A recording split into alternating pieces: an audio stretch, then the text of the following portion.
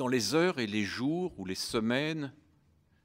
qui ont suivi le désastre du 11 septembre 2001, beaucoup de New-Yorkais étaient comme des âmes en peine, cherchant à quoi s'accrocher au milieu de ce désarroi généralisé qui était le leur. Certains cherchaient un refuge dans la philosophie, d'autres dans la poésie, et le grand dessinateur Art Spiegelman a tenté, lui, de le trouver dans la bande dessinée américaine du début du XXe siècle, ces bandes dessinées qui étaient nées précisément dans ce quartier de Manhattan qui venait d'être ravagé. C'était le siège des grands journaux américains, c'est le moment de l'immense popularité de ces figures. Et Art Spiegelman, dans son livre À l'ombre des tours mortes, accorde une très large place aux fantômes de ces personnages qui semblent hanter ces rues dévastées et fumantes. Happy Hooligan, que nous voyons ici à la dernière image, est l'un de ces gamins terribles qui jouaient à des blagues bien innocentes par rapport à ce qui s'est passé. On peut sentir aussi des allusions au Upside Down de Gustave Verbeek, cet étonnant artiste précurseur de Loubapo dont les bandes dessinées pouvaient se lire dans les deux sens. On pouvait voir revenir Crazy Cat, aussi bien que Bringing Up Father, Little Nemo et bien d'autres. Ils étaient là, ils erraient dans les rues, ils étaient toujours présents, ils étaient toujours vivants. Ces bandes dessinées qui avaient marqué toute une génération de lecteurs et de spectateurs au début du XXe siècle, au moment où les journaux se livraient à une lutte impitoyable pour conquérir de nouveaux lecteurs, avec de petits héros et de la couleur, et de la couleur qui triomphait particulièrement dans les suppléments du dimanche. Le Yellow Kid avait cessé d'être une grande illustration surmontée d'un texte pour proposer des demi-pages, des petites séquences animées de phylactères. Le même Richard Autko avait ensuite créé Buster Brown, de grandes pages strictement composées dans un langage déjà très proche de la bande dessinée qui allait se développer pendant une grande partie du XXe siècle. Il y avait cette idée de gamin plus ou moins sage, plus ou moins endiablé, se livrant à des bêtises plus ou moins innocentes, des gamins bourgeois ou des gamins pauvres, Happy Hooligan de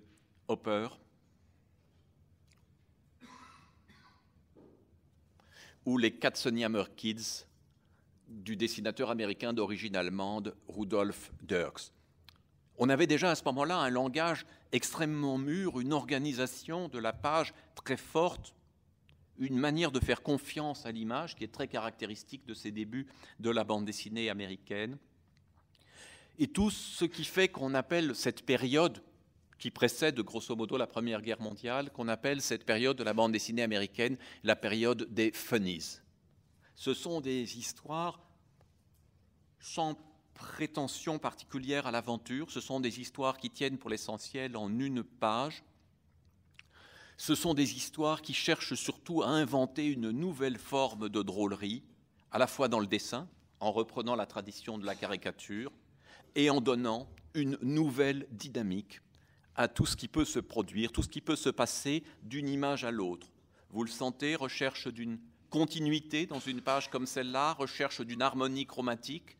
recherche aussi d'une lecture avant tout visuelle.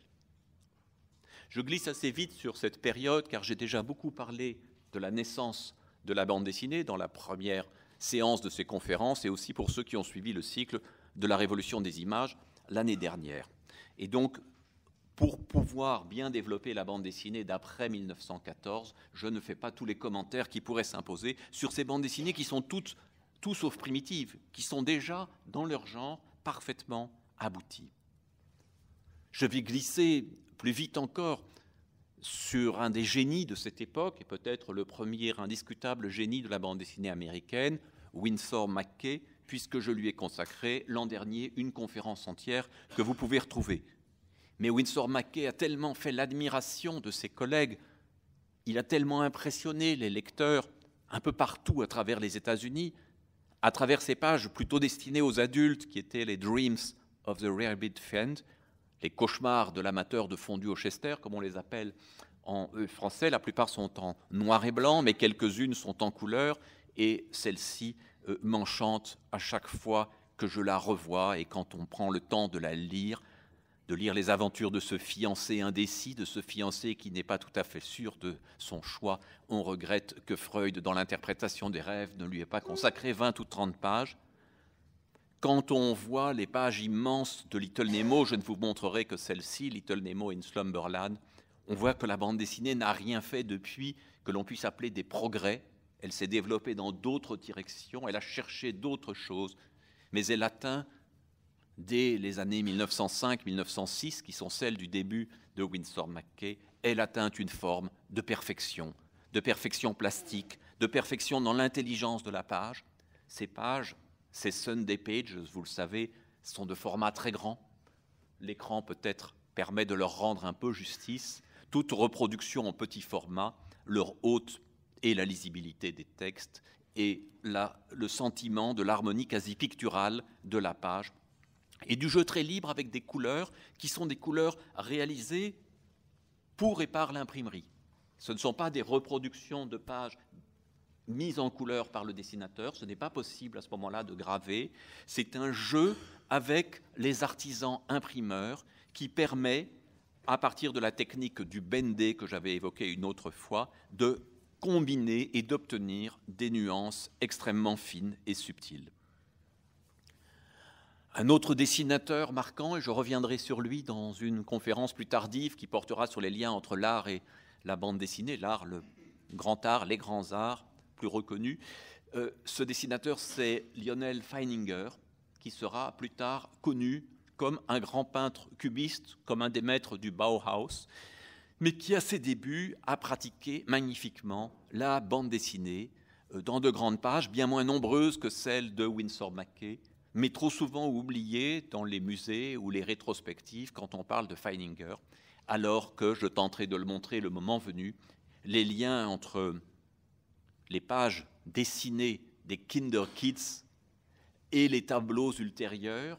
ou les marionnettes et les objets fabriqués par Lionel Feininger, ces liens sont tout à fait évidents du moment qu'on ne se contente pas d'endosser de vieilles hiérarchies en pensant qu'il s'agit d'œuvres de jeunesse avant que M. Feininger ne devienne un véritable artiste peignant sur toile. Installez-vous, je vous en prie. J'espère qu'il reste quelques places, ça et là. Vous vous souvenez peut-être de ce visage que j'ai déjà montré plusieurs fois, de ce personnage très imposant de la presse américaine du début du XXe siècle, William Randolph Hearst. William modèle du Citizen Kane d'Orson Welles, se livrant à une guerre acharnée et perpétuelle avec Joseph Pulitzer, son grand rival, et quelques autres comme James Gordon Bennett qui dirige le New York Herald, s'arrachant les dessinateurs, car les dessinateurs de bande dessinée, dans cette époque-là, les dessinateurs des funnies, sont un des arguments les plus puissants pour attirer de nouveaux lecteurs et particulièrement pour leur faire découvrir avec émerveillement les Sunday Pages, les suppléments du dimanche tout en couleur. Monsieur Hearst a une idée, ou en tout cas développe une idée qui était dans l'air, une idée qui va transformer profondément la bande dessinée américaine, mais décider aussi en partie de son expansion. C'est cette idée euh, qu'on appelle celle des syndicates. Alors ne pensez pas à la CFDT ou à la CGT. Les syndicates, ce sont des agences de presse. Et pour les pauvres dessinateurs, elles ne ressemblent nullement à des syndicats. Il s'agit bel et bien de dépossession, de dépossession de leurs droits. Mais il s'agira à côté de cette dépossession, le Kingfishers Syndicate est le plus célèbre, le plus important, mais il y en a d'autres ce sont des associations de journaux qui permettent dans un premier temps de couvrir tout le territoire américain, puisque à Chicago, à San Francisco, dans d'autres villes, à Boston, on n'a pas les mêmes nouvelles locales. Donc le journal reprend un certain nombre d'articles du journal euh, fondateur, du journal principal, mais adapte le contenu aux réalités locales. Simplement, les bandes dessinées, elles, n'ont pas besoin d'être adaptées. Elles peuvent circuler de journal en journal et le dessinateur a été payé, souvent fort bien, car la concurrence est vive, mais il a été payé une fois pour toutes. Et pire que cela, et il y aura des procès célèbres mais souvent perdus par les auteurs, pire que la question financière est la question de la propriété des personnages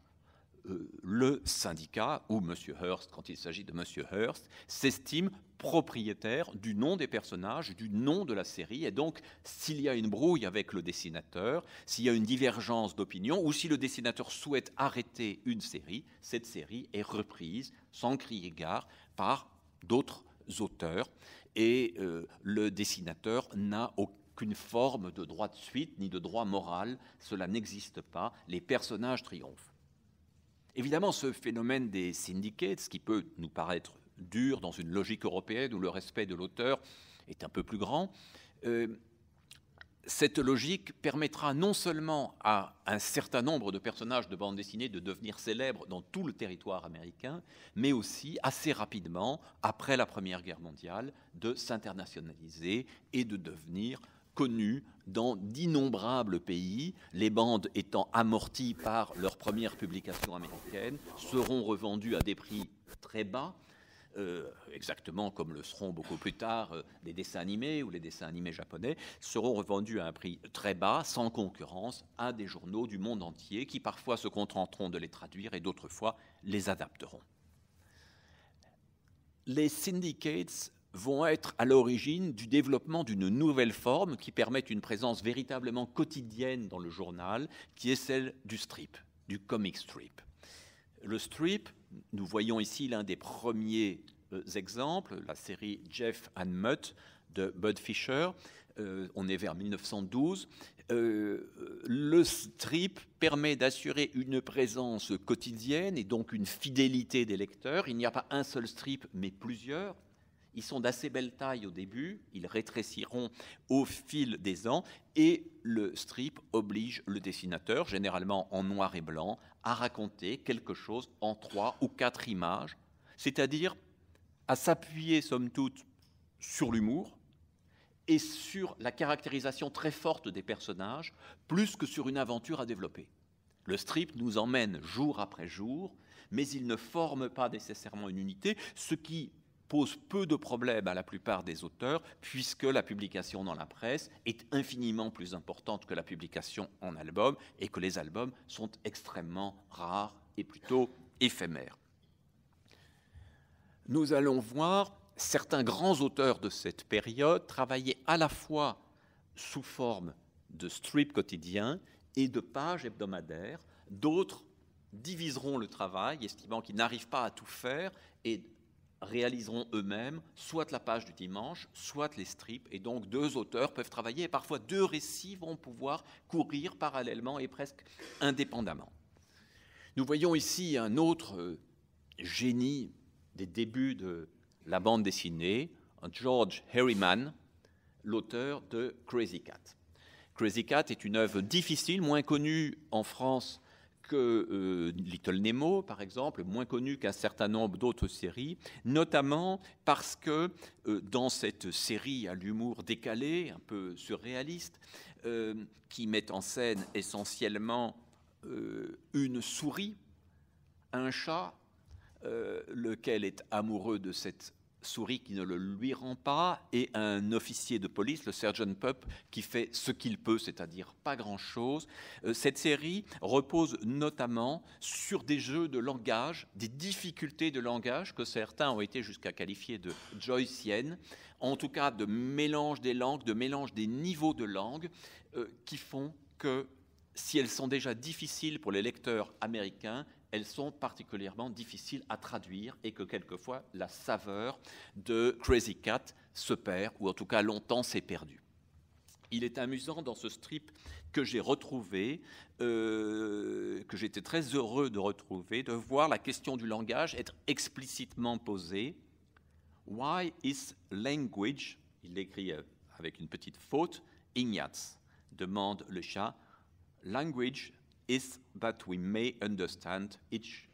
another, one another. Et donc, il discute sur est-ce que le langage nous permet véritablement de nous comprendre l'un l'autre. Et à la dernière case, le chat s'en va dépité. Then I would say, language is that we may misunderstand each, each other. Each other. Et donc, les malentendus du langage, les difficultés du langage, mais pas seulement du langage, sont posés explicitement dans un des strips comme le cœur de la série. Vous voyez ici un graphisme minimal, mais dès que nous voyons bien les cases ou les illustrations produites par Herriman, nous sentons son extraordinaire drôlerie, sa liberté graphique absolue, cette manière de faire de l'animalier qui n'est pas tout à fait de, de l'animalier, cette manière aussi de répandre une forme de nostalgie ou de mélancolie, ici des questions philosophiques sur le sens moral, le bien, le mal.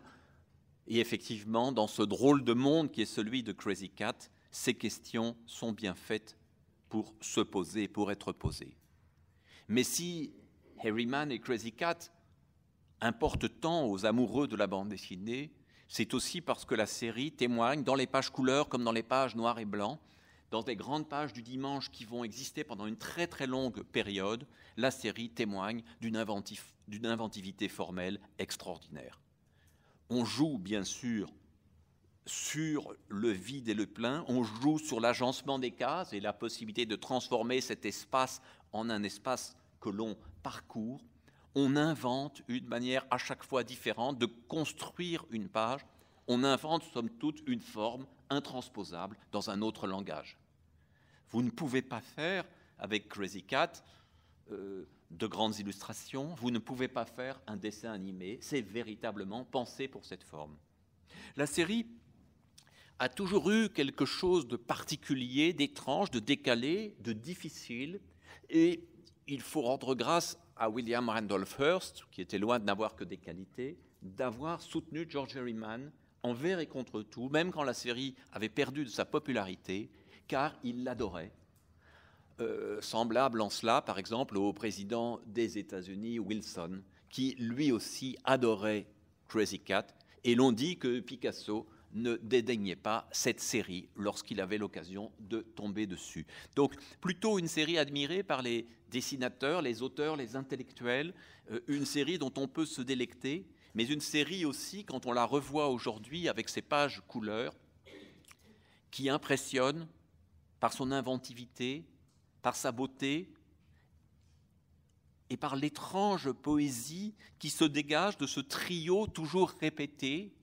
de cette situation quasi lacanienne qui est au cœur de Crazy Cat. La souris lance imperturbablement une brique qui heurte le chat, qui la prend pour une preuve d'amour. Et le sergent Pup essaye, généralement en vain, de d'empêcher ce forfait, d'empêcher ces déclarations qui n'en sont pas, d'empêcher ce malentendu amoureux, ce dépit amoureux perpétuel. Mais vous voyez ici, dans cette page, par exemple, comment mettre en prison les personnages est de l'ordre du jeu et de la représentation. On commence par, par peindre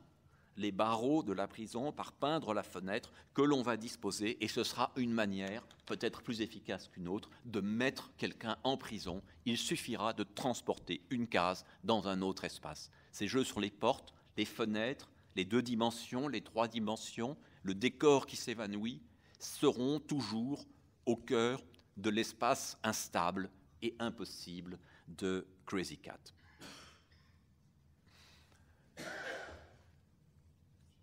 Ne soyez pas hum, surpris ou déçus si certains des auteurs américains de ces périodes que vous connaissez n'apparaissent pas sur l'écran. Peut-être apparaîtront-ils un peu plus tard, mais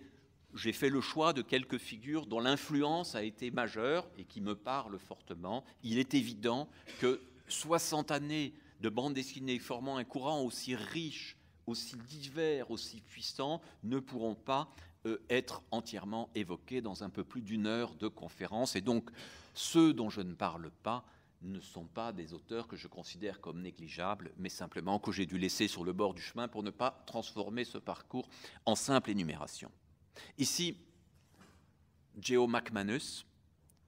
dont la série s'appelle en français euh, La famille Lico et s'appelle euh, aux États-Unis, enfin c'est appelé euh, Bringing Up Father,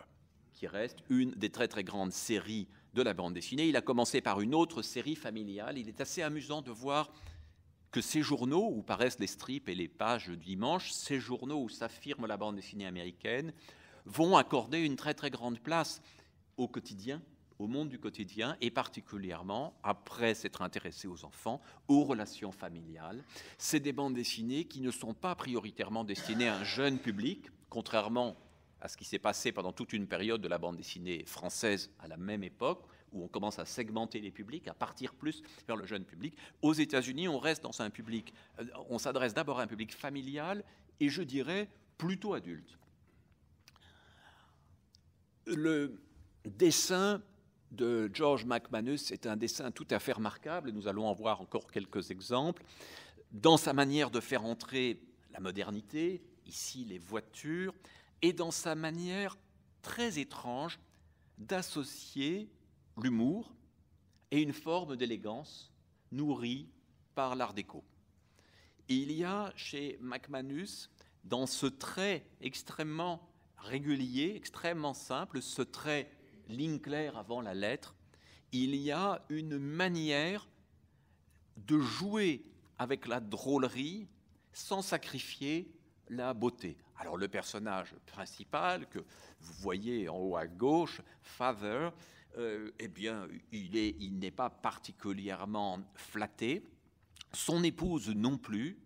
Contrairement à Hergé qui admirait énormément MacManus, euh, MacManus n'hésite pas à caricaturer les femmes.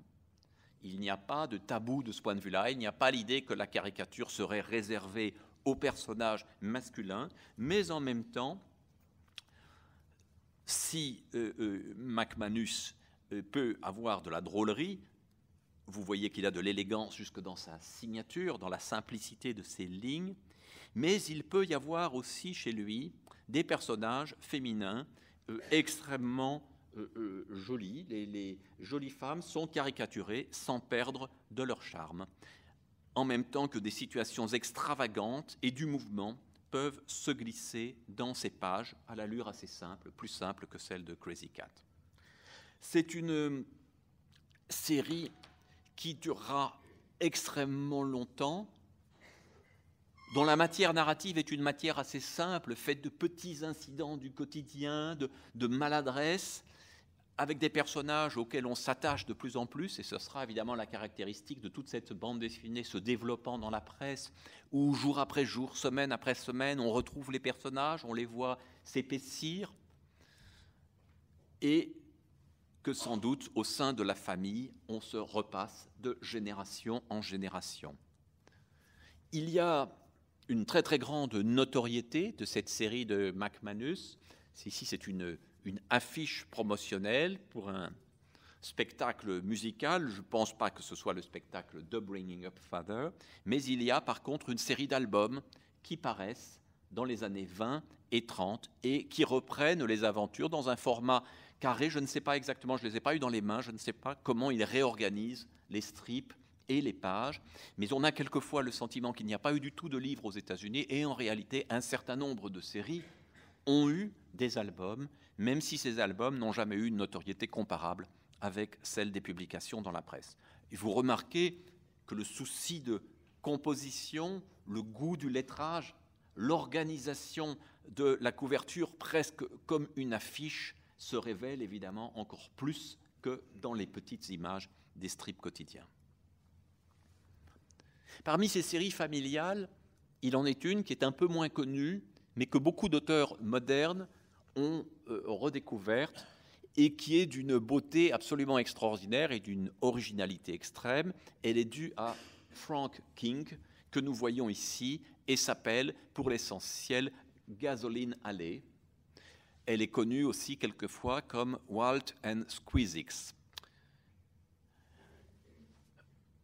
Cette série qui démarrait de manière plus conventionnelle et qui accordait au départ une très grande place aux automobiles et aux garages, nouvelle réalité de la vie américaine, cette série prend son relief prend sa pertinence le jour où le personnage de Walt, l'homme assez imposant que nous apercevons, que nous retrouverons tout au long de la série, le jour où ce personnage découvre devant sa porte un couffin avec un petit garçon abandonné qu'il va presque aussitôt adopter et auquel il va s'attacher de plus en plus et que nous suivrons tout au long de sa vie, puisqu'il s'agit de la première série qui va voir les personnages évoluer en âge. Le bébé va apprendre à marcher, puis à parler, va grandir. Walt va rencontrer une femme, se marier, avoir un autre enfant. Le garçon euh, partira en classe, puis au service militaire. Nous les suivrons pendant une période extrêmement longue, avec un raffinement, une subtilité, une densité psychologique de plus en plus grande et relativement euh, inattendue euh, par rapport à ce dessin qui pourrait sembler avant tout humoristique. Les péripéties sont minces, la maladie de l'enfant, une petite crise existentielle, peuvent pendant plusieurs semaines être l'unique matière de ces strips mais la sensibilité est extrême et la relation euh, va s'épaissir. Voici ici le petit Skizix qui est euh, confronté à la naissance de l'enfant que euh, Walt a eu avec sa femme. Et donc, on va lui présenter ce wonderful baby brother. Et le petit Skizix demande si, si la, la femme de Walt est déjà au courant qu'il y a un petit frère. Does she know I've got a baby brother? Voilà tout à fait le ton de cette série euh, redécouverte et très fine et très belle, avec ce dessin finalement plus sensible que, que drôle et beaucoup plus inventif qu'on ne pourrait l'imaginer, notamment dans cette scène amoureuse euh, nocturne où on a véritablement quelque chose de tout à fait euh, de tout à fait extraordinaire dans la, dilution, dans la lumière des deux personnages, le jeu sur les silhouettes, la simplification extrême, autant d'éléments aussi pensés pour survivre à des conditions de reproduction dans des journaux qui paraissent sur des papiers très différents et où tous les grands dessinateurs de cette époque seront des artistes de la reproductibilité technique, seront des obsédés de ce qui passe et de ce qui ne passe pas, se méfieront des effets trop subtils qui ne résistent pas à la réduction mais vous sentez bien qu'un strip comme celui-là, de quelque manière qu'il soit reproduit, garde quelque chose d'unique et de magnifique. Le dimanche, dans les grandes pages de Gasoline Alley, dont je ne vais vous montrer que très peu d'exemples, il y a des jeux formels absolument étourdissants, une intelligence de la page, une intelligence de la circulation du regard, une intelligence dans la construction d'un espace oblique d'un espace en losange qui vient poser une seconde grille à l'intérieur de la grille stricte de la mise en page en 16 cases, il y a là quelque chose de tout à fait exceptionnel qui, pour ceux qui en ont été lecteurs autrefois ou qui le sont aujourd'hui, fait irrésistiblement penser au Philémon de Fred. Ces jeux-là, notamment la très célèbre page du chien dans Simbabad de Bad Bad que j'avais commenté autrefois, euh, ces jeux-là se trouvaient déjà, dès les années 20 et 30, dans les pages de Frank King, sans que la plupart des lecteurs européens ou des supposés spécialistes de la bande dessinée en cette période y aient prêté attention. Et même aux États-Unis, les innovations de Frank King étaient bien oubliées. Il y a non seulement de l'humour, il y a non seulement de la continuité narrative, mais il y a véritablement ce sentiment de la page tableau qui nous propose un deuxième ordre de lecture, une deuxième façon d'être fasciné par une narration.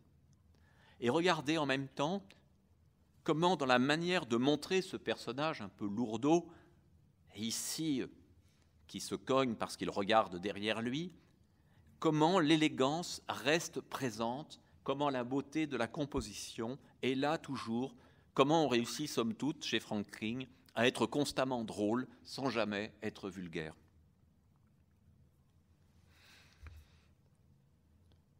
Il y a énormément de séries, parfois très peu célèbres, euh, chez nous, euh, dans, la tradition francophone, qui nous frappent quand nous les revoyons à la lumière de la bande dessinée moderne, qui nous frappent par leur qualité, et c'est le cas de Polly and Her Pals, donc la jeune Polly et ses copains, qui sont un peu aussi ses prétendants, série créée par le dessinateur tout à fait étonnant Cliff Sterrett. Vous voyez ici un original qui nous montre une tendance qui va s'affirmer beaucoup dans le travail de Sterrett, qui est une tendance qui part vers l'expressionnisme, vers un dessin aux déformations plastiques et picturales. On est exactement dans l'époque du cinéma expressionniste allemand. On est à l'époque du cabinet du docteur Caligari de Robert Wiene, des premiers films de Murnau et de Lang, d'un moment où on tord l'espace et la bande dessinée qui propose ces étranges petites boîtes qu'on appelle des cases, ces théâtres minuscules où s'agitent les personnages, la bande dessinée semble, pour des auteurs comme Cliff Sterrett ou Frank King, ne pas se prêter véritablement au réalisme, ne pas se prêter véritablement au travail d'une perspective classique. Elle suppose d'inventer des espaces qui s'emboîtent et cohabitent graphiquement dans la page, qui garantissent une fluidité de lecture, puisqu'on est ici dans une continuité de la page très simple, mais qui nous permet aussi, très souvent, et par exemple ici, de développer une séquence entièrement muette. Quand il y a couleur, et c'est le cas de beaucoup des bandes dessinées de cette époque, quand il y a travail de la couleur dans ces grandes pages, où vous voyez que le même dessinateur développe deux séries, une en mineur, qu'on appelle souvent le topper, et l'autre principale. On cherche une harmonie de couleurs, mais en même temps une très grande liberté. On est dans les couleurs que les journaux peuvent reproduire, loin de tout souci de réalisme ou de pseudo-réalisme. Élégance, raffinement, présence extrêmement forte des personnages féminins. Beaucoup de séries de cette époque sont appelées des girl strips, ce sont des, histoires qui tournent autour d'une jeune fille, une jeune fille et ses fiancés, une jeune fille et le monde du travail, une jeune fille et sa famille. C'est un thème qu'on va retrouver. Certaines de ces jeunes filles sont montrées de manière un peu ironique euh, ou très ironique, d'autres sont des personnages à part entière. Et donc là aussi, on a une grande différence entre la bande dessinée fran franco-belge euh, qui se développe durant les mêmes années, qui commence à se développer et qui est pour l'essentiel masculine, où les personnages féminins sont rarissimes, et la bande dessinée américaine qui ne connaît absolument pas ce dédain pour les personnages féminins et qui n'exclut ni la séduction ni l'humour par rapport aux situations de ces personnages. Donc, vous voyez, dans Polly, qui est une bande dessinée qui peut être d'allure plutôt psychologique, d'allure plutôt calme et, paisible et méditative, on peut aussi avoir des scènes d'action extrêmement vives, de véritables tempêtes narratives, où tous les éléments volent et où tous les codes de la bande dessinée sont utilisés de manière jubilatoire. Voici un dessinateur d'allure plus sérieuse, dont l'histoire va se développer elle aussi de manière un peu plus grave, mais sera l'une des plus populaires aux États-Unis à partir des années 20 et surtout dans les années 30, les années 30 qui vont constituer aux yeux de beaucoup d'amateurs, particulièrement aux yeux des premiers critiques français qui se sont penchés sur la bande dessinée, sont considérés comme un âge d'or. On peut discuter cette appellation d'âge d'or. Je pense que l'âge d'or, c'est souvent celui où nous avons découvert des œuvres qui nous émeuvent. L'âge d'or est souvent celui qui est lié à nos lectures d'enfance, il n'empêche qu'il y a dans ces années-là, et particulièrement dans les années 30, une créativité exceptionnelle de la bande dessinée américaine, et notamment avec cette œuvre de Harold Gray, Little Orphan Annie. Little Orphan Annie, donc euh, une petite orpheline qui va connaître des tribulations nombreuses, qui est victime des méchants, mais qui va adopter un chien, s'y attacher, puis rencontrer un homme très riche qui la prend sous son aile et la protège. Et on dit quelquefois que la série est quelque peu réactionnaire politiquement car elle accorderait un petit peu trop de place aux possibilité de l'American Way of Life et de la possibilité de se tirer de n'importe quelle situation par volonté. Il n'empêche que dans les bandes des années 30, au moment de la Grande Dépression américaine, au moment de la Grande Crise, ces situations sociales difficiles seront aussi au cœur du récit assez simple de Little Orphan Annie. Nous la voyons ici intervenir courageusement euh, au milieu d'une bande de mauvais garçons pour sauver le pauvre petit chien. Et vous voyez que cette petite orpheline à la case centrale n'est pas tout à fait une mijaurée et qu'elle ne se comporte pas comme une faible fille. Grande beauté aussi. Bon, évidemment, vous allez dire, je prélève des strips un peu magiques. Parfois, ce sont des strips originaux qui ont été en vente dans différents lieux et donc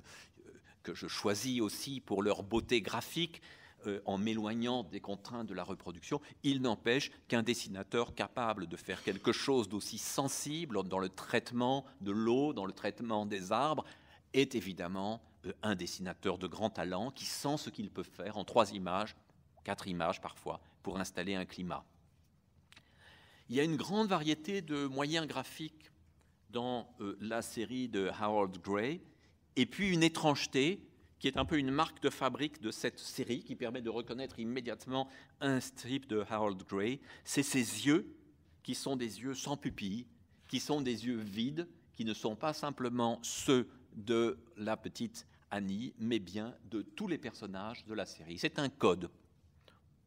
comme les nez de McManus, sur lesquels je n'ai pas insisté, ces petits nez ronds qui ravissaient le tout jeune Hergé et qu'il s'employait à imiter. Là aussi, page couleur de Little Orphan Annie, avec une organisation absolument remarquable, une forme, on peut le dire, de ligne claire, de simplicité, de lisibilité immédiate, et en même temps, dans cette série, dans cette série qui se développe sur une période extrêmement longue, tant elle est populaire, une présence de l'histoire, une présence des événements. Ici, euh, il s'agit euh, d'une page dessinée pendant la Seconde Guerre mondiale. Un personnage fait une plaisanterie malvenue sur la guerre et l'homme en bleu qui a perdu deux fils démolit l'auteur de cette plaisanterie malencontreuse. Il est fait allusion aussi à Pearl Harbor et à ce désastre. Donc dans une série qui peut sembler purement intimiste, ce qui probablement pour euh, les lecteurs la rend si attachante, si présente, si proche, c'est que tout ce qu'ils vivent, les saisons, les grandes fêtes nationales, les grands événements, la crise, la guerre, entrent dans cette chronique où les événements peuvent évoluer à un rythme lent. Little Orphan Annie sera, vers la fin des années 30, la plus célèbre des bandes dessinées euh, américaine. Elle aura ses propres livres, ses propres publications et surtout un merchandising extrêmement développé. On peut même apprendre à danser avec Annie ou à faire de la pâtisserie. Ce sont des objets évidemment d'époque euh, qui attestent de son immense popularité. J'avais dit la dernière fois quelques mots de la série de Martin Branner connue en France sous le nom de Bico et Bicot président de club, dont certains se souviennent peut-être. Mais aux États-Unis, c'était la sœur de Bicot, la jeune et élégante Winnie, Winnie Winkle, qui était la véritable héroïne, et Bicot n'était que le petit frère. Ça nous montre déjà une forme de puritanisme dans la reprise des bandes américaines en France. pour certaines séries, on rabira les héroïnes jugées un peu indécentes, mais ici, on a tout simplement opté pour les pages du dimanche consacré au seul Bicot.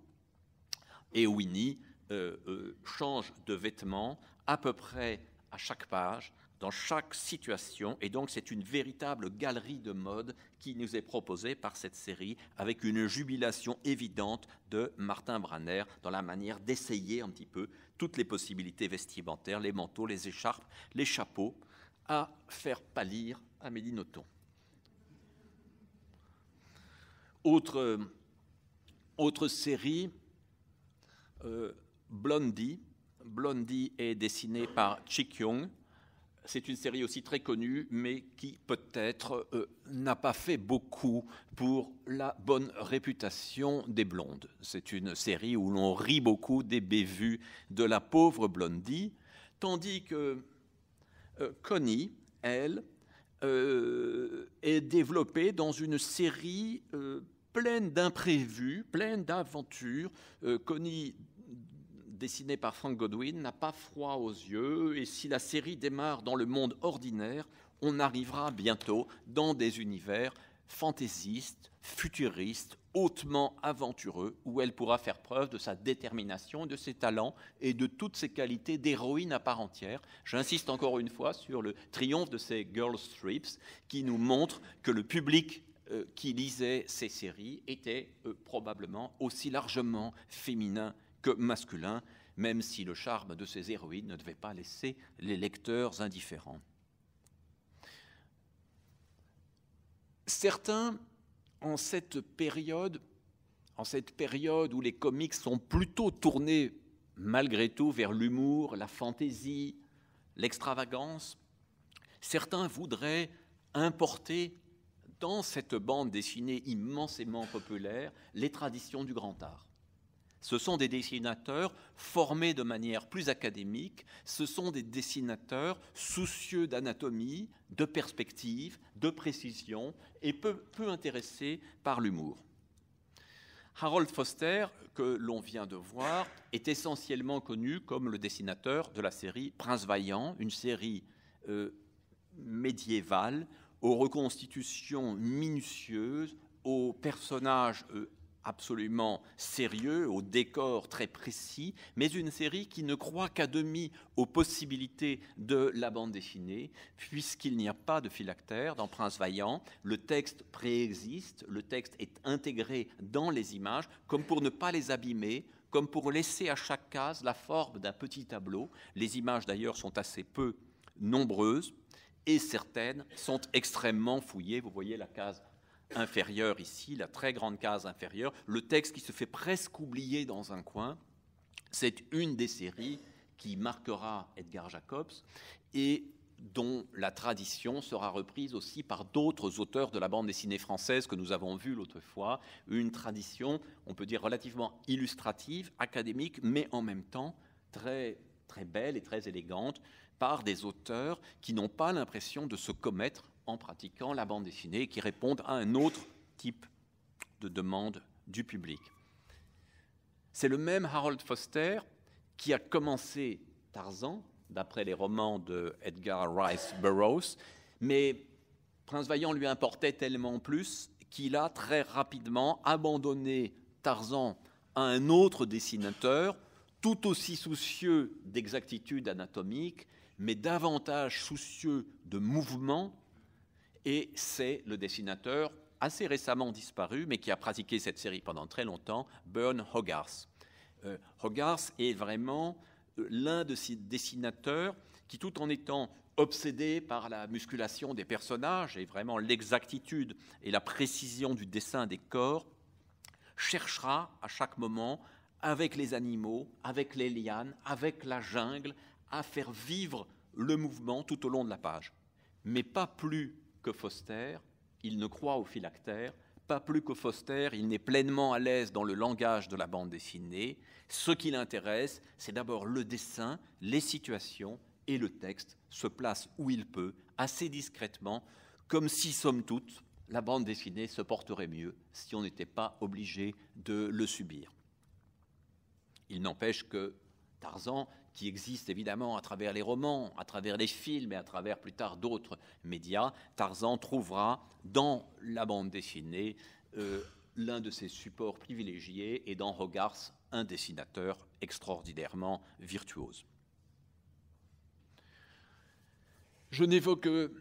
que très vite, et pour ne pas les oublier, parce que ce sont des personnages immensément célèbres et qui ont par exemple fasciné euh, Alain Resnais ou Federico Fellini, un personnage comme Mandrake le magicien de Lee Falk et Phil Davis, un personnage qui aura une longue vie, qui ne restera pas toujours au même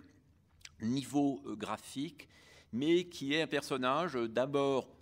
un peu omniscient et omnipotent, puisqu'il est véritablement doté de pouvoirs magiques, il peut presque tout faire, et qui verra peu à peu ses pouvoirs se réduire, se restreindre, ressembler plus à ceux d'un illusionniste, pour que dans la conduite des aventures, tout ne lui soit pas possible. Un personnage aussi à la silhouette immédiatement campée, un personnage mémorable ainsi que ses acolytes. Ce sont des personnages dont on suit parfois les aventures de manière irrégulière et on doit pouvoir raccrocher le fil assez rapidement et reconnaître qui est qui tout de suite. Autre euh, personnage euh, inventé lui aussi par Lee Falk, euh, le fantôme, le fantôme qui connaîtra de très nombreuses aventures et sera pour beaucoup restera une référence, un des héros marquants de ce supposé âge d'or de la bande dessinée d'aventure des années 30. Un de ces héros aussi qui trouvera place dans un certain nombre de revues françaises au cours des années 30, et notamment dans le journal de Mickey et les journaux qui se développeront autour.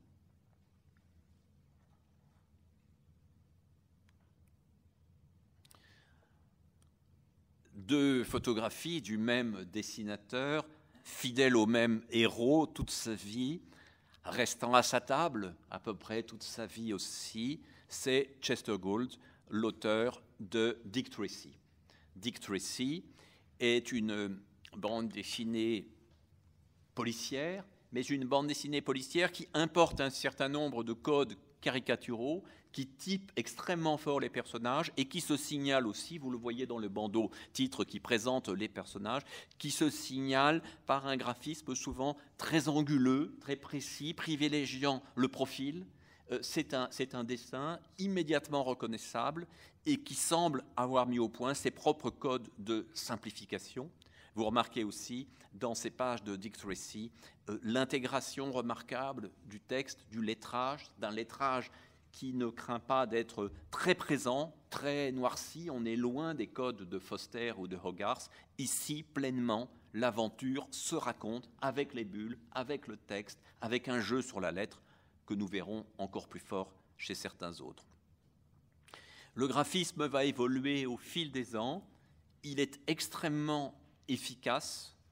Voyez la troisième case du, du strip du haut. Voyez aussi euh, la beauté du décor à la dernière case du strip du bas, il y a une efficacité du noir et blanc qui ne le dispute qu'à la simplicité de la couleur chez Dick Tracy, couleur toujours en aplat, toujours simple, associée fortement à un personnage, et qui donneront lieu à l'une des adaptations les plus convaincantes et les plus réussies au cinéma, le Dick Tracy de Warren Beatty, avec Madonna dans les années 80, qui est euh, une, sorte de réécriture de Dick Tracy qui ne raconte pas simplement les aventures du personnage, mais prend au sérieux les codes graphiques, la simplification, le costume formant silhouette et les couleurs à l'état pur, les couleurs comme sorties du pot. Euh, c'est un film euh, qui mérite d'être vu parce qu'il propose probablement une des solutions les plus ingénieuses à l'adaptation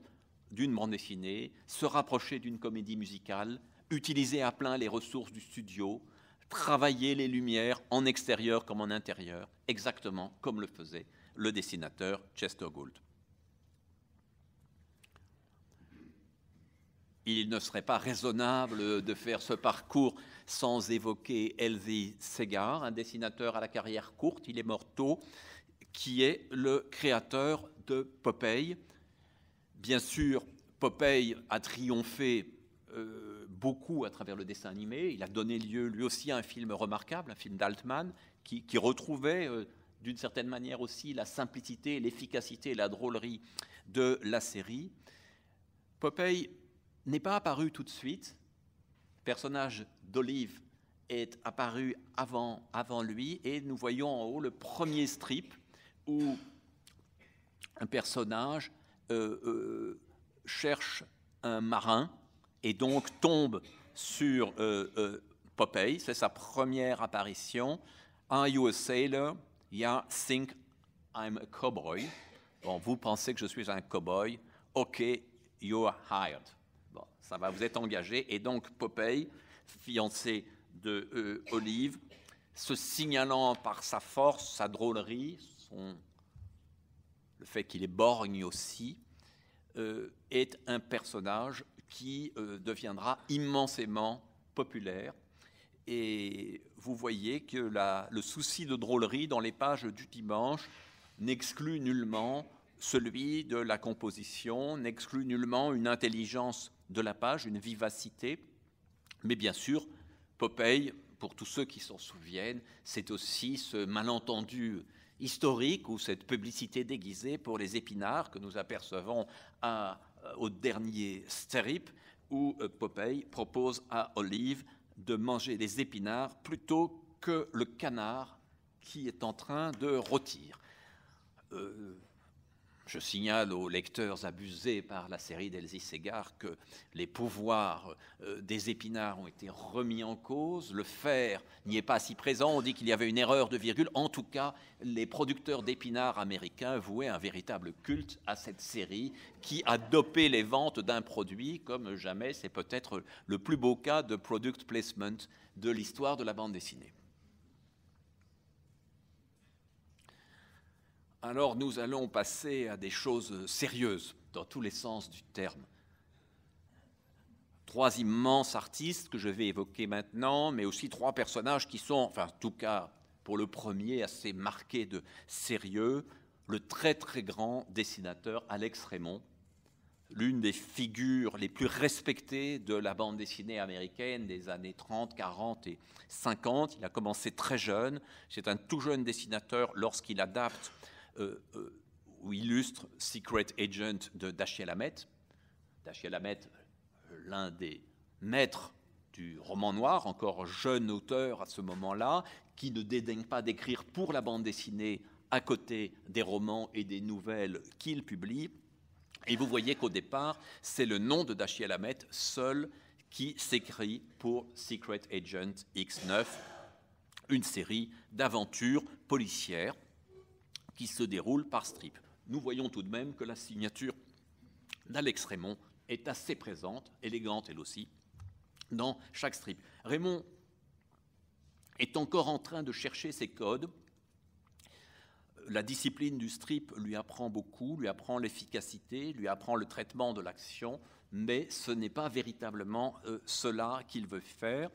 Euh, donc plusieurs albums de Secret Agent vont paraître avec un très grand succès dans les années 30. C'est un peu oublié aujourd'hui. Mais Raymond, lorsqu'il progresse graphiquement, veut se lancer dans un univers plus libre, plus imaginaire, un univers tout à fait étonnant qui est celui de Flash Gordon, Guy Léclair en français, c'est moins bien. Euh, et Flash Gordon est une série tout à fait étonnante puisqu'elle mêle des éléments qui pourraient faire penser à Prince Vaillant, des éléments historisants, des éléments presque médiévaux qui vont emprunter à plein de traditions, et en même temps des éléments futuristes et un monde imaginaire peuplé d'engins bizarres, de machines visionnaires, d'animaux qui traînent des, euh, euh, vaisseaux divers. C'est une série absolument somptueuse euh, lorsqu'on voit toutes euh, les évolutions narratives et toute la richesse de l'univers. Euh, Raymond ne l'écrit pas seul, mais on sent qu'il insuffle les thèmes et que le scénariste Moore, qui travaille avec lui, est véritablement au service du dessin de Raymond et notamment de ce triomphe des corps corps souvent fort peu vêtus grâce aux situations science-fictionnelles qui sont décrites, euh, qui permettent de mettre en valeur les anatomies et les musculations des personnages. Il y a un plaisir euh, du dessin euh, chez, chez Alex Raymond et il y a une virtuosité évidemment dans l'usage des corps. Alors, il y a un reportage de 1941 sur Alex Raymond qui est tout à fait étonnant, où on le voit travailler à partir d'un modèle nu pour plusieurs cases de euh, la même page. Probablement s'agit-il aussi d'une mise en scène un peu publicitaire, mais on voit quand même que la précision des attitudes euh, a été régulièrement nourrie par un travail d'après-modèle. Edgar Jacobs, dont nous parlerons la prochaine fois avec le moment belge, Edgar Jacobs, qui a repris pendant la guerre Flash Gordon, avant de créer le rayon U, qui est l'ancêtre et la prémonition de ce qui deviendra Black et Mortimer, euh, Edgar Jacobs a lui aussi un rapport à la photographie, mais il utilisera moins de femmes et, faute de pouvoir se payer des modèles, posera surtout lui-même devant un miroir où se fera, se fera photographier par ses proches, jouant les différentes attitudes. Mais donc c'est une tradition qui est extrêmement éloignée, presque opposée à celle des Funnies que nous avons vues, à celle de Gasoline Alley, à celle de, Little Orphan Annie. On est ici dans un autre monde. On s'accroche à une tradition plus proche de celle du cinéma, plus proche de celle du dessin académique, et l'on obtient des attitudes qui sont des attitudes qui doivent être justes, quand bien même elles sont théâtralisées. La formule jacobsienne d'opéra de papier convient à merveille au travail d'Alex Raymond. Avec Flash Gordon, c'est vraiment d'un opéra de papier qu'il s'agit. Vous voyez que ces poses, les attitudes des personnages, même les expressions du visage, ont toujours quelque chose d'un peu joué, d'un peu mimé, mais ça permet à chacun des tableaux de ces pages de raconter véritablement une action à part entière. Ça permet donc à chaque demi-page de faire avancer l'intrigue suffisamment. Donc, une énorme présence des personnages féminins. Dale, euh, l'ami de Flash, compte autant que lui dans la série, et énormément de situations qui sont des situations permettant de mettre les corps en danger, de les fragiliser, de les attacher, de les torturer gentiment. Euh, tout cela appartient aussi au charme très spécifique de euh, Flash Gordon, qui se développe notamment pendant les années de la Seconde Guerre mondiale avant que Raymond ne soit mobilisé euh, et n'ait un comportement assez héroïque sous les drapeaux pendant plusieurs années. C'est une série aussi où l'on invente véritablement un monde, des techniques. Je n'ai pas le temps de vous montrer de nombreux engins d'Alex Raymond, mais il y a une inventivité dans le dessin des villes et dans le dessin des machines qui est d'autant plus frappante qu'elle ne se place pas dans un code strictement science-fictionnel. Il est évident que beaucoup des séries américaines euh, qui se développeront d'abord sous forme d'adaptation de Flash Gordon au cinéma ou en serial, puis d'autres séries de science-fiction filmées emprunteront à Flash Gordon bien avant d'aller chercher chez Möbius ou chez Valérian une matière. Après euh, la guerre, euh, il va créer une autre série plus réaliste, l'univers plus quotidien, mais avec un dessin noir et blanc extrêmement solide, extrêmement fort, même si peut-être il n'a pas toute la démesure et toute la folie de Flash Gordon qui reste son chef-d'œuvre, c'est la série Rip Kirby. long feuilleton, qui ne donne pas lieu à des pages aussi spectaculaires. Euh, Alex Raymond meurt très jeune. Euh, il était passionné de voiture. Il essaie la voiture de sport d'un ami et se tue dans un accident à 46 ans et est pleuré par l'ensemble de ses confrères car il était probablement l'artiste le, plus reconnu de la période, le plus admiré. Son talent était tel que, comme celui de Winsor Mackay à son époque, il ne suscitait même pas la jalousie. Un autre génie de l'époque, là j'emploie vraiment le mot, en tout cas génie du dessin, encore sous-estimé en France, peut-être parce que ce n'est jamais aussi beau, ce n'est jamais aussi fort que lorsqu'on le lisait en strip, en feuilleton, et que les compilations ont quelque chose peut-être de plus lourd ou de plus laborieux. Cet autre génie, c'est Milton Caniff. Milton Caniff, dont on peut dire immédiatement, mais vous le découvrirez au fil des images, que sans lui, pas d'Hugo Pratt, pas de Corto Maltese, peut-être pas de Didier Comès ou de Munoz et Sampaio, etc. C'est vraiment un dessinateur fondateur. C'est un de ceux qui va utiliser le noir et blanc de la manière la plus extraordinaire, qui va réussir aussi de la façon la plus étonnante à mêler du réalisme et de l'humour, souvent du réalisme lorsqu'il s'agit de personnages féminins, souvent de l'humour lorsqu'il s'agit de personnages masculins, mais vous voyez dans le trait de pinceau de Canif, ici, lorsqu'on isole une case, et Thierry Smolderon l'avait fait il y a bien des années dans un livre, hélas, introuvable, qui s'appelait Images de Chine, et qui ne faisait que des agrandissements de cases de la série Terry et les pirates, dès qu'on agrandit, on sent cette virtuosité, cette élégance, ce plaisir du dessin, quelque chose qui arrive à être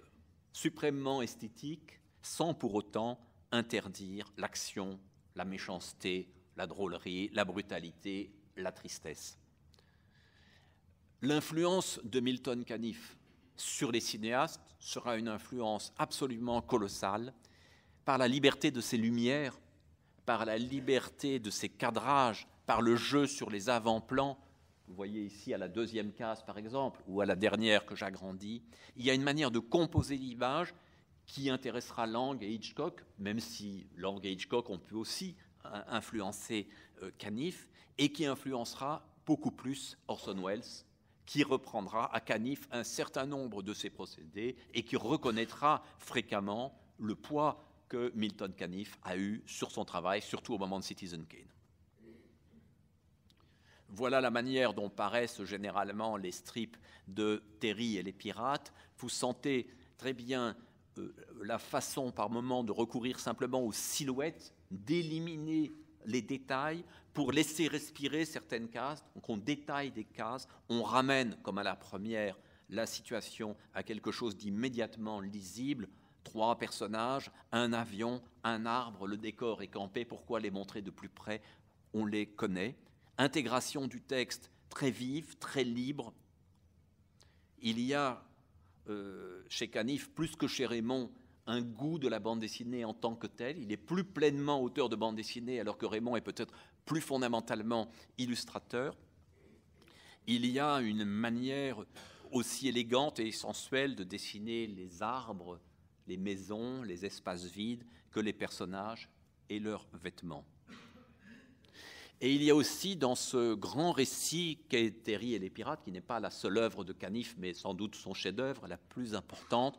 il y a une manière de traiter l'émotion, l'émotion psychologique, qui est assez unique dans les bandes dessinées de cette époque. Ici, on assiste à la mort d'une femme à laquelle on s'était énormément attaché. Et donc, vous voyez euh, le premier strip qui relate ces derniers instants, et puis deux strips qui ne sont là que comme le travail du deuil, que comme l'adieu, laissant toute place au silence sans entrer dans le mélodrame. C'est une scène extrêmement célèbre de Terry et les pirates et qui nous montre aussi comment la bande dessinée commence à atteindre des thématiques qui lui semblaient ou qui lui avaient semblé longtemps interdites. À la même époque, euh, euh, travaille un dessinateur qui aura deux carrières, une carrière dans les années 40 et une carrière bien plus tardive. Nous le voyons donc ici à gauche euh, comme jeune homme, auteur du Spirit, et en bas comme vieil homme, auteur de plusieurs romans graphiques et inventeur potentiel du roman graphique. Il s'agit de Will Eisner. Will Eisner commence très très jeune une série euh, qui est amusante aussi parce que c'est une série entre euh, l'univers policier et un univers parfois assez dur, assez hard-boiled, et l'univers humoristique. Son dessin tirera toujours vers quelque chose d'humoristique avec le personnage du spirit. Le spirit est un détective, un aventurier, un homme d'action, mais en même temps, c'est déjà une parodie de super-héros. On est contemporain de la naissance des super-héros dont je vais parler dans un instant. S'il y a un auteur qui croit au langage de la bande dessinée, qui croit que la lettre fait pleinement partie du langage de la bande dessinée, que le phylactère est un élément absolument indiscutable, c'est bien euh, euh, Will Eisner, autant qu'André Franquin, autant que Jacques Tardy aujourd'hui, euh, Eisner pense que toute inscription devient une image et que le titre du spirit lui-même peut être le point de départ d'une aventure. Chaque fois, un récit s'ouvre par une page spectaculaire, mais cette page ne repose pas sur un simple effet illustratif. Euh, elle permet déjà au récit de se mettre en route, de jouer tout à fait librement avec un espace de fantaisie, comme dans la page de droite, et en même temps un récit qui s'amorce. Il y a un humour canaille, une forme de méchanceté, une grande liberté qui, euh, pour moi, rendent la première période d'Eisner, celle des années 40, encore plus passionnante et encore plus forte euh, peut-être que les romans graphiques tardifs, euh, Un bail avec Dieu ou Le Rêveur, qui ont beaucoup fait pour le réveil de sa gloire, qui font qu'aujourd'hui les grands prix de la bande dessinée américaine au Comic Con de San Diego sont les Eisner Awards, que le nom d'Eisner est pour beaucoup synonyme du passage de la bande dessinée américaine à l'âge adulte, juste avant Art Spiegelman. Il n'empêche que peut-être cette euh, liberté graphique, cette désinvolture, cette jeunesse tout simplement, ce sens du mouvement et de l'action sont pour moi encore plus éclatants dans les pages du Spirit. Vous pourriez me dire qu'il y avait beaucoup à dire sur Disney, et oui, je le montre pour mémoire, pour ne pas dire que je l'ignore, parce que bien sûr, Mickey et les autres ont existé sous forme de strip, pas, pas forcément et généralement pas dessinés par Walt Disney lui-même, mais sous son aile et à l'intérieur d'une œuvre immense qui donnera naissance à de très grands dessinateurs très admirés comme Karl Barks, le créateur de, de Picsou, euh, Uncle Scrooge. Mais j'ai préféré m'attacher ici à des œuvres qui sont directement liées au langage de la bande dessinée et qui n'étaient pas de près ou de loin des dérivés d'un autre langage génialement mis au point par Disney, celui du dessin animé. Il n'empêche que les interactions sont nombreuses et que quand le comic book apparaît, en 1933 ou 1934, euh, beaucoup des comic books sont attachés à des personnages disneyens ou disneyisés ou proches de Disney, des famous funnies, des funnies, des funny animals. Euh, c'est ceux-là qui vont remplir beaucoup des pages avant que, en 1937, le format du comic book, ces petits fascicules très bon marché, 10 cents seulement. Ces petits fascicules à pagination réduite imprimés sur mauvais papier ne commencent à s'intéresser à des histoires plus trépidantes, plus inquiétantes, mettant en scène différents personnages. Tout cela vivote sans avoir de véritable éclat jusqu'à l'apparition en juin 1938 dans Action Comics d'un personnage promis à un avenir extraordinaire en bande dessinée et bien ailleurs, et qui va lancer un genre. Ce personnage, c'est bien évidemment Superman. Superman qui très vite se verra gratifié de son propre comic book, et le succès immense de ce comic book générera une prolifération en quelques mois, une prolifération d'autres héros. Alors, il a été créé à la veille de la Seconde Guerre mondiale, on l'a souvent dit, par deux jeunes auteurs juifs, Schuster et Siegel, euh, qui se verront, euh, hélas, dépossédés de l'essentiel de leurs droits, puisqu'ils acceptent d'être payés à la tâche et ne, seront pas propriétaires des personnages, même si sur le tard ils tenteront, comme les auteurs de Batman, de récupérer une partie des droits au moment où la notoriété des personnages seront devenus gigantesques. Il n'empêche qu'ils deviennent très rapidement des stars, car cette série, euh, dont nous voyons ici la toute première page, celle qui explique l'origine des pouvoirs secrets de Superman, ce qui est lié à la fameuse planète Krypton et à ce qui lui permet de se transformer et d'être invincible, ce personnage va être euh, extraordinairement populaire en très très peu de mois. Vous connaissez la base, l'argument de base, qui est particulièrement touchant quand on pense à la situation fragile de ces deux auteurs, euh, de euh, ces deux juifs qui assistent impuissants à la montée du nazisme et à l'horreur qui s'abat sur l'Europe. On voit euh, Clark Kent, le personnage principal, avec sa fiancée Lois Lane. Clark Kent est un personnage souvent moqué, humilié, impuissant, incapable, qui ne peut pas faire grand-chose,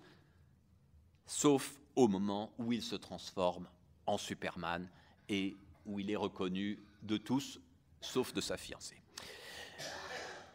Batman naît très peu de temps après, et directement comme une réponse à l'appétit du public, comme une envie de concurrencer. Batman, lui aussi, a une histoire familiale sombre que l'on découvrira peu à peu. Ces comic books développent d'abord de l'action pure. Lorsqu'ils seront devenus immensément célèbres, plusieurs auteurs réinterviendront et enrichiront leur passé, enrichiront leurs actions pour les rendre moins mécaniques. On peut noter que le personnage du Joker et celui de Robin apparaissent extrêmement vite dans Batman, et donc que cet univers qui se développera notamment au cinéma, puis dans des jeux vidéo, a été structuré assez rapidement, y compris sur le plan graphique. Là, les comic books et les super-héros se succèdent à grande vitesse et triomphent dès le début de la Seconde Guerre mondiale. Captain Marvel, Wonder Woman, car il n'y a pas de raison que dans qu'au pays des super-héros, il n'y ait pas aussi de super-femmes extrêmement puissantes et actives, dotées de pouvoirs extraordinaires. C'est une série assez intelligente, assez, assez raffinée que Wonder Woman, raffinée à l'intérieur du code des super-héros, qui n'est pas tout à fait le mien, qui n'est pas tout à fait l'univers dans lequel je baigne, mais je me verrais mal vous raconter l'histoire de la bande dessinée américaine dans cette période en glissant sur les super-héros, même si certains spécialistes de la bande dessinée, et ceux par exemple qui avait créé l'exposition bande dessinée et figuration narrative il y a 50 ans,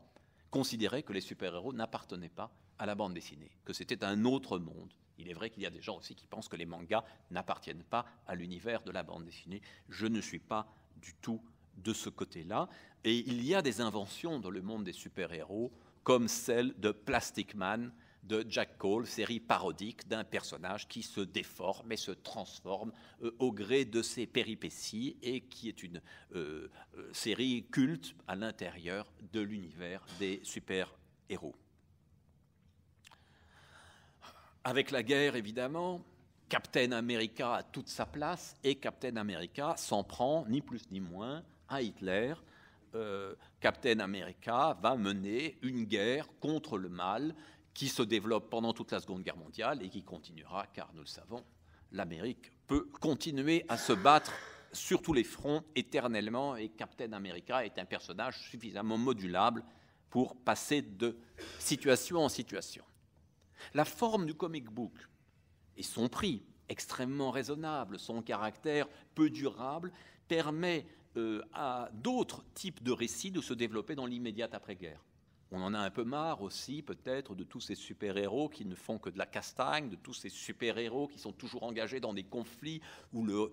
risque du monde, euh, où, tous les risques du monde sont en jeu. Et donc, Archie, par exemple, euh, sera l'un de ces très fameux comics for teenagers, de comics pour adolescents. Et vous voyez le dialogue tout à fait délicieux euh, sur la couverture. le malheureux Archie se demande comment il va répéter le rôle de Roméo pour la pièce du lycée et son ami, une de ses deux amies, lui dit I could teach you, Archie. Hein, je pourrais t'apprendre. Et donc, il sera là éternellement dans ses petits flirts, ses petites aventures adolescentes, euh, avec toutes les difficultés de la vie, toutes les possibilités aussi de la consommation. Il y aura euh, des, comics d'Archie tournés autour des voitures, des nouveaux engins, mais qui mettent en scène aussi euh, ces deux euh, copines.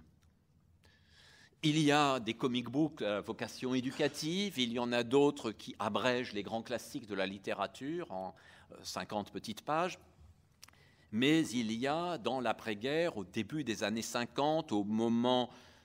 de la guerre froide, au moment de nouveaux périls, de nouvelles terreurs, il va y avoir une série de comic books de plus en plus violents, d'abord d'histoires policières,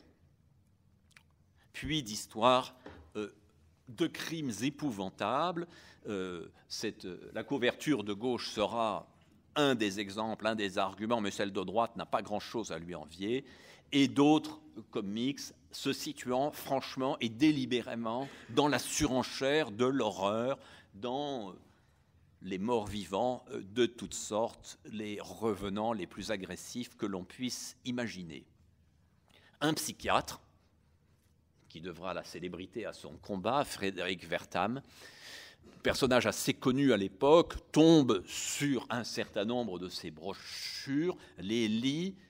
est horriblement choqué et écrit un livre, Seduction of the Innocent, qui prétend que les dangers de l'Amérique, la criminalité montante, la drogue, le stupre, la fornication, euh, tout ce qu'on peut imaginer, viennent de la lecture de ces comic books et entreprend une guerre, une véritable croisade qui sera couronnée de succès. Campagne au Sénat où l'on montre et couverture et où on parle de l'influence terrible de ces publications, dont certaines sont assez minoritaires euh, et, n'ont vraiment qu'un public de niche, mais on arrive à donner le sentiment que c'est toute la jeunesse américaine qui est en danger. On brûle des comic books un peu partout à travers les États-Unis, donc des autodafés ont lieu, et les éditeurs euh, commencent à être assez euh, paniqués. L'un d'eux est appelé à témoigner au Sénat, juste après le docteur Vertam, mais le docteur Vertam est nettement plus éloquent que William Gaines, euh, auquel on montre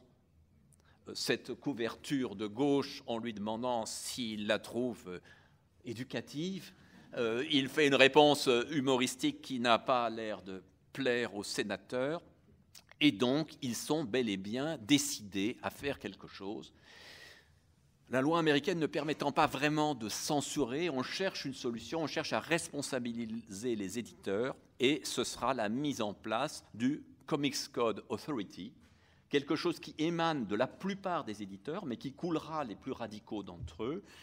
puisqu'il faudra désormais que sur les comic books, il y ait le label, le timbre Approved by the Comics Code Authority. Donc, on recommande ces publications-là, on développe des bandes dessinées plus sentimentales, plus recevables, et on va voir apparaître des nouveaux super-héros, de nouveaux comics books, d'action eux aussi, de super-héros eux aussi, mais qui savent naviguer, se garder des excès de la génération précédente et qui vont les marginaliser vraiment euh, dans des, boutiques, des officines tout à fait spécialisées. Les comic books d'horreur n'auront plus de place dans le marché, tandis que Jack Kirby, dont on fête cette année le centenaire, comme on fête celui de Will Eisner, mais on a peut-être plus parlé de celui de Will Eisner, euh, Jack Kirby sera le créateur de toute une série de personnages, les Fantastic Four, mais aussi Spider-Man et d'autres, qui triomphent encore aujourd'hui et qui seront la deuxième génération des héros, euh, des super-héros américains, avec, il faut le dire, euh, une inventivité graphique qui ne recourt plus euh, à la même violence directe, mais qui malmène la page classique qui secoue la page et qui arrive à cette écriture des comics que nous connaissons encore aujourd'hui. D'autres n'ont pas envie de voir ce virage moral de l'Amérique, de McCarthy, de l'Amérique, d'une crypto-censure, de l'Amérique, d'une moralisation. Et un personnage essentiel, l'un des derniers que je vais évoquer, c'est Harvey Kurtzman. Harvey Kurtzman n'est pas immensément connu en France, mais c'était un personnage fondamental pour la naissance de la contre-culture américaine. On peut dire qu'il a probablement euh, plus fait que n'importe quel autre auteur pour permettre à un esprit caustique, ironique, à une nouvelle forme de caricature de se développer aux États-Unis d'abord et puis un peu partout, car le travail de Kurtzman sera énormément imité. Ce sont d'abord des séries personnelles, dont cette série Hey Look, qui est très ironique,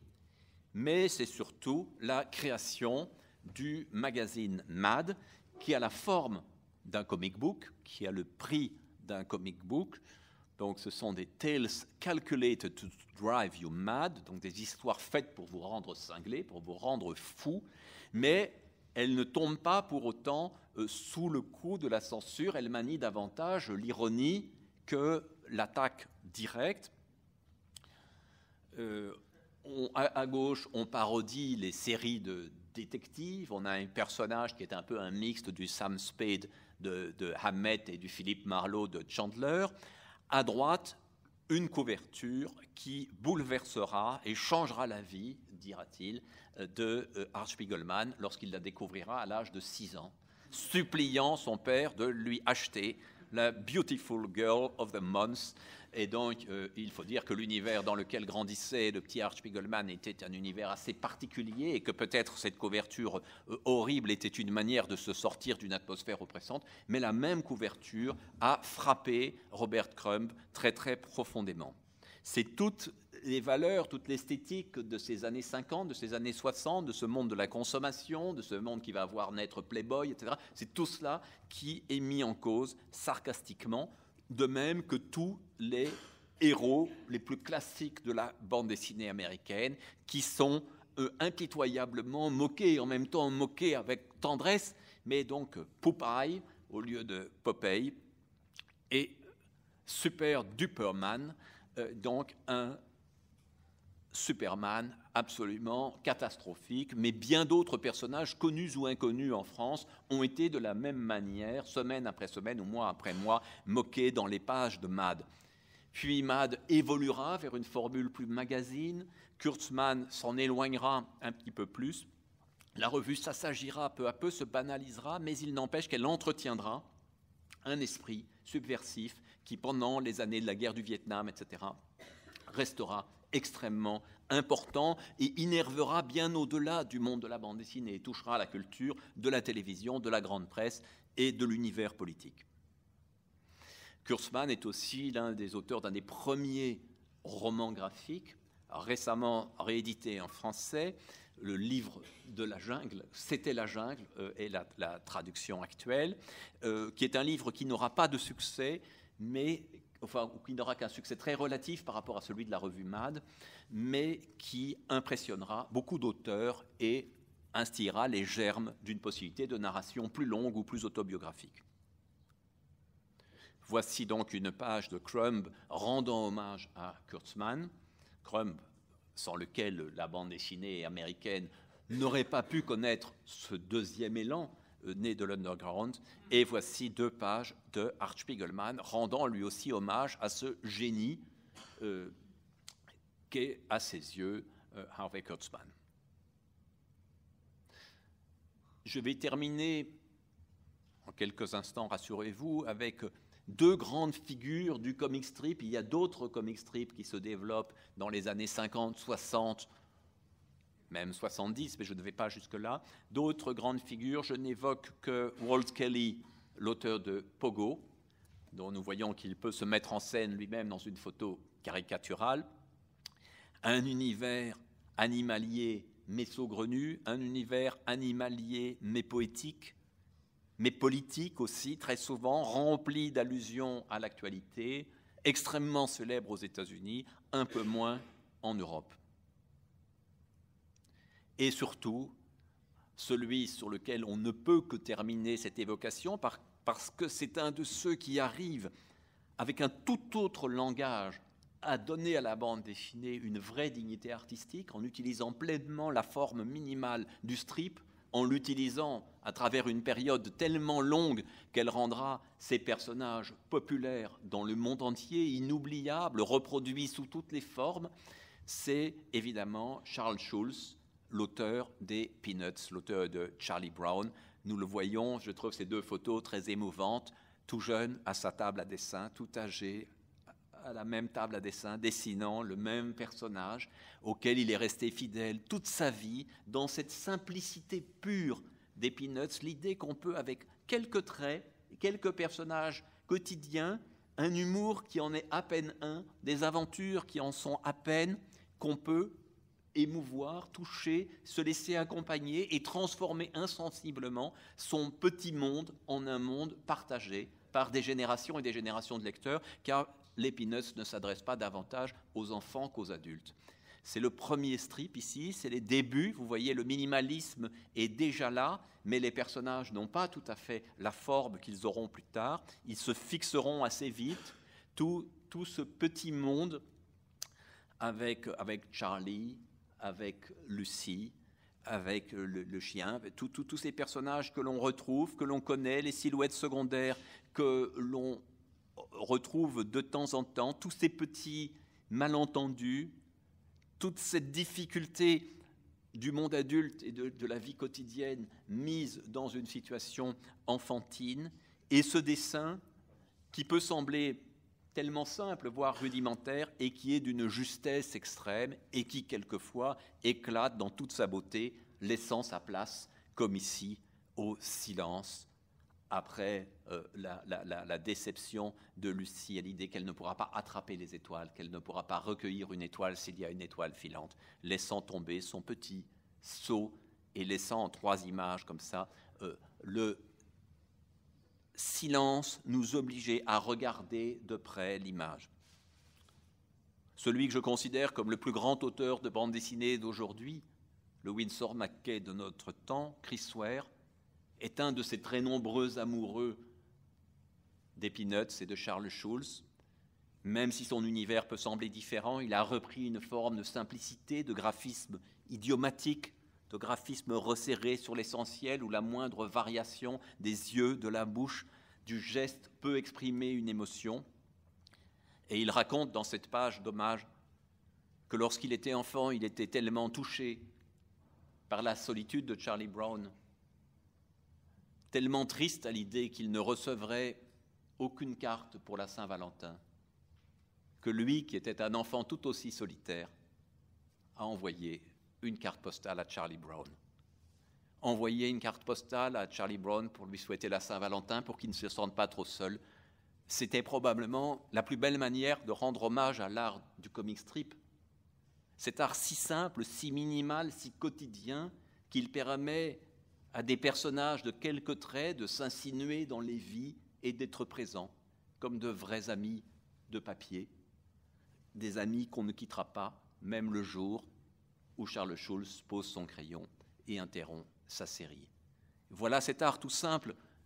de quelqu'un qui ne cherche pas à aller vers la peinture, qui ne cherche pas à aller vers le cinéma, qui ne pense pas qu'une adaptation soit la meilleure des choses, même si beaucoup de choses se sont faites, mais qui pense qu'avec ce petit langage de